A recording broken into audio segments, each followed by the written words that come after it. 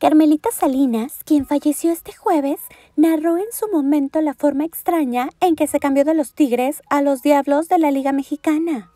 Eso le ocurrió a la famosa actriz, quien falleció este jueves a los 82 años de edad, después de estar hospitalizada varios días por un derrame cerebral. Así lo confirmaron sus propios familiares.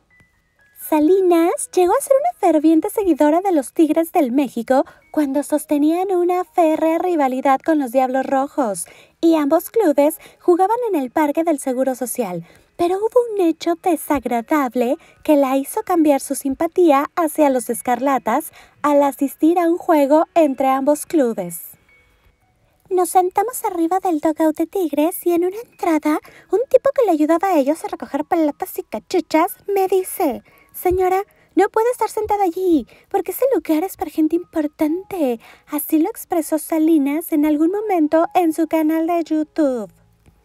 La coahuilense ahondó que ella se hizo gran aficionada del rey de los deportes desde los años de 1970, cuando su amigo, el lanzador Juan Subi, le propuso que fuera madrina del equipo. Sin embargo, Salinas dijo que esa noche decidió cambiarse a los Diablos porque cuando ya estaba en la calle para irse a su casa, el legendario pitcher de los Pingos, Alfredo Zurdo Ortiz, salió a buscarla y fue todo un caballero con ella. Ese día pichó Alfredo el zurdo Ortiz y se dio cuenta de todo lo que pasó.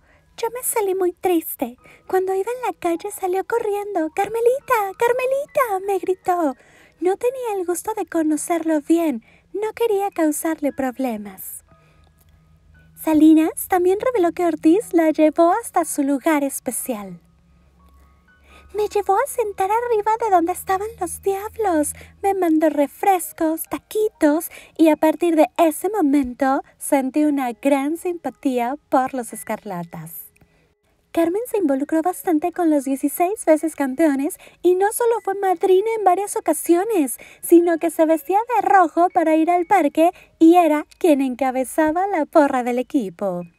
Me coronaron reina del béisbol. Tengo pelotas que me autografiaron y un traje del zurdo Ortiz dedicado por él. Fui la fan número uno de los Diablos Rojos del México. Soy diabla a morir, por cierto, ahondó en el momento.